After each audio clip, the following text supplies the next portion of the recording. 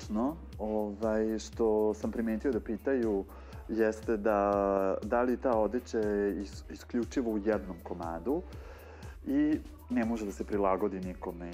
To je ono, ili da li je pred, određena samo za muškarca, odnosno za ženu. Ja se konkretno trudim da odeća nema toliko to karakteristično, ovo mora bude samo žensko i ovo mora bude samo muško, pogotovo što danas živimo u svetu gde, smo, gde je sve vrlo slobodno i slobodnih shvatanja i svega. E, tako da mislim da e, unisex odeća danas pobeđuje, a to je nešto pravac u kome ja idem.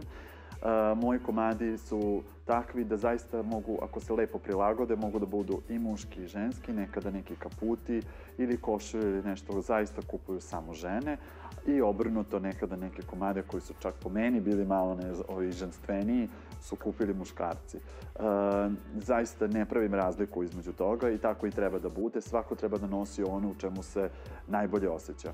A da bi se naj, zaista najbolje osjećali u tome, e, dobro je da im stoji na pravi način i zbog toga svaki dizajner treba da zna da uzme meru i da na pravi način uh, prilagodi sve detalje i šavove upravo onome koji to nosi.